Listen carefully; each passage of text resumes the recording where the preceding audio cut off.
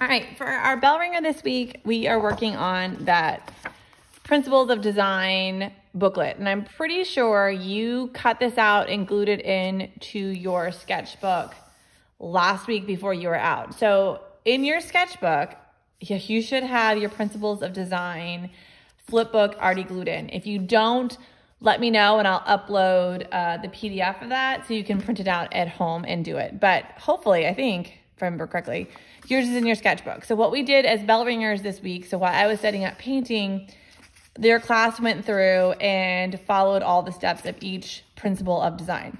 So for repetition, you'll read what a repetition is. It will ask you to do a certain thing and just fill that out.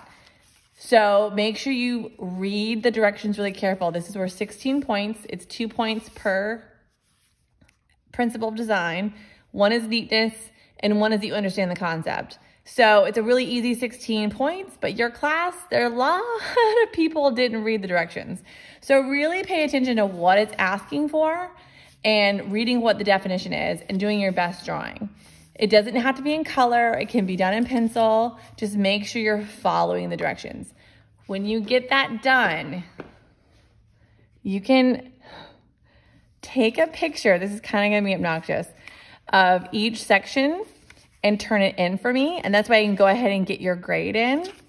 If you want to wait and turn in your sketchbook when you come back, that's fine too. If you want to go ahead and see that grade, you can hit mark as done then. But I'd really like to go ahead and see the picture. That way I know that you know this is done. And the off chance you don't come back before the trimester ends, your grade's in. So complete your principles of design. Go ahead and snap me the pictures of each principle. I really just need to see the picture and what principle it is. I know what the directions say and then submit to this project. This should be pretty easy for you since you, I think, already have the principle design flipbook in your sketchbook.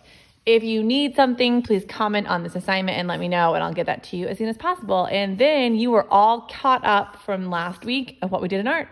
And I will talk to you next week. Have a great weekend.